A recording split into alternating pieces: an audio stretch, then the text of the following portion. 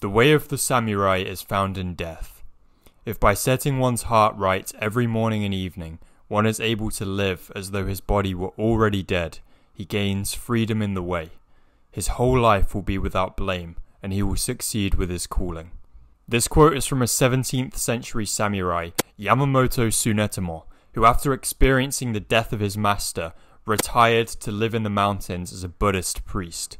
His teachings were compiled into a book called Hagakure, offering insights into proper conduct for samurais, and he was heavily influenced by the Zen Buddhist and Confucian traditions. Now, Tsunetomo had some fascinating teachings, and although they contrast heavily with modern Western ideals and norms, they still provide very relevant insights into self improvement, discipline, and mindset. Death featured as a central part in Tsunetomo's philosophy, so in this video we're going to delve into his teachings on overcoming fear of death in order to obtain freedom and unlock one's full potential.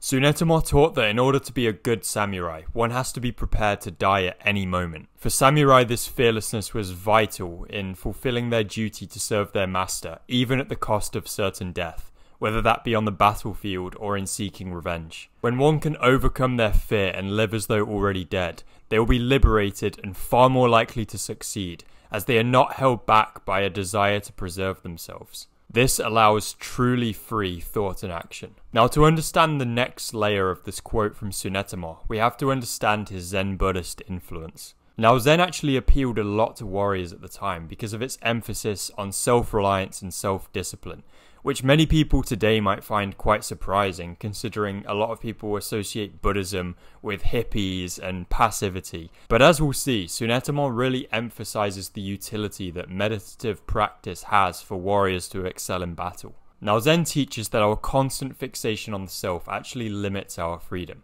We perceive ourselves as these distinct entities from the rest of the world and are constantly preoccupied with maintaining and upholding our physical and psychological integrity. The world becomes bifurcated into, on the one side, the me and the my, and on the other side, the rest of the environment. This self fixation obstructs clear thought and action, especially for samurai who must act swiftly and decisively in service of their duty rather than in service of goals like self preservation.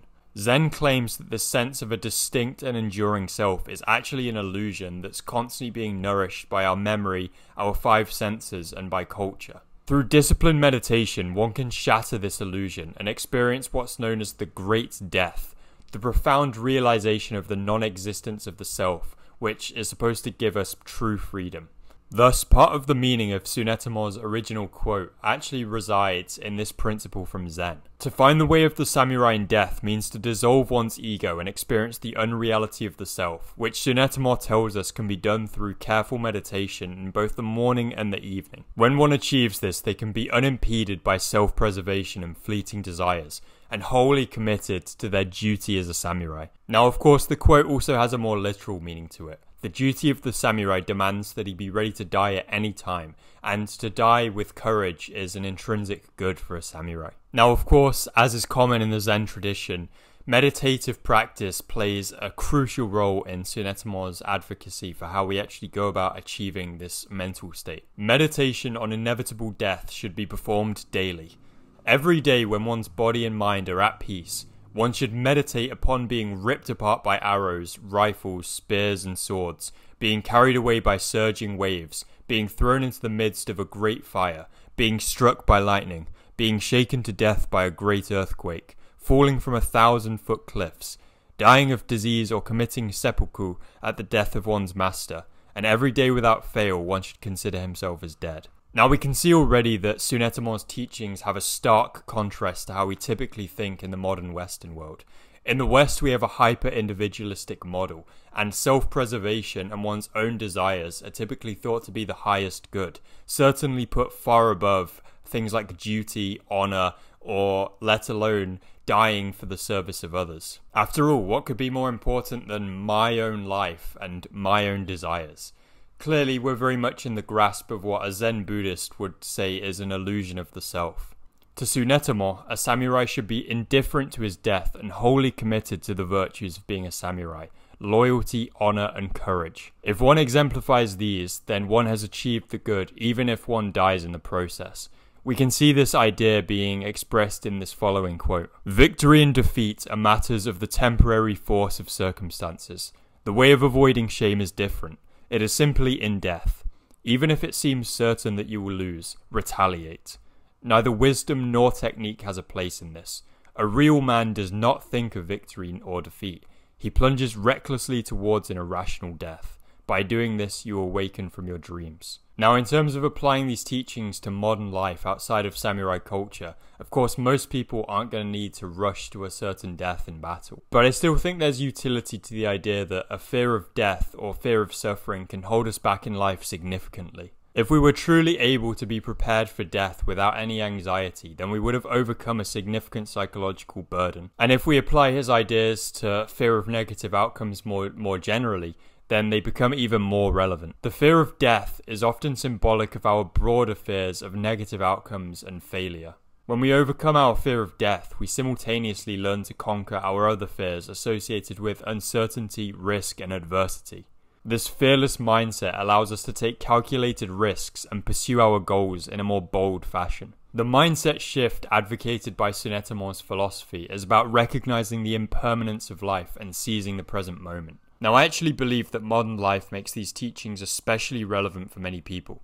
We live in an unprecedented era of luxury, comfort, convenience, and safety, and we have limitless options for entertainment at our fingertips. Yet, despite this, many of us find ourselves in monotonous routines and feeling a lack of fulfillment. Familiar routines of attending school, university, or a 9 to 5 office job, then returning home to spend the evening on a digital screen, can create a kind of self imposed comfort zone. Whilst this is very enticing in the short term, it can deprive us of the fulfillment that comes from risk and adventure. Modern life, with its emphasis on safety and predictability, has diminished our opportunity to experience things that push our boundaries and ignite that fire of ambition. Whilst most people are not grappling with hesitation to die in battle, Many people are, in fact, crippled by fear of bad outcomes, and this prevents them from taking opportunities as a result. Now, this could be fear of rejection, fear of being a social outcast, fear of financial losses, fear of a difficult confrontation. All of these things are very common in the modern human experience, and it's uncontroversial to say that they many times hold us back. With this in mind, Tsunetomo's teachings and ideas from the Zen tradition suddenly become very relevant.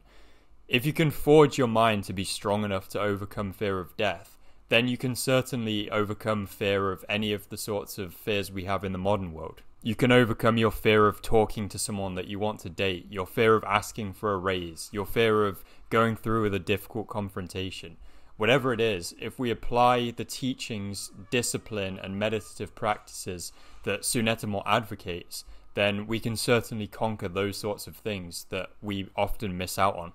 His teachings remind us that life isn't just about living comfortably, but also about achieving greatness and learning to seize the moment. If we overcome these common fears of death or of bad outcomes, then we can have a spirit of daring, which will allow us to seize many of life's greatest experiences. Many of the greatest experiences and achievements that life has to offer definitely lie outside of our bubble of comfort.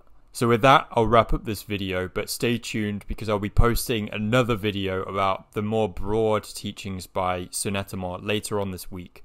So stay tuned and thanks for watching.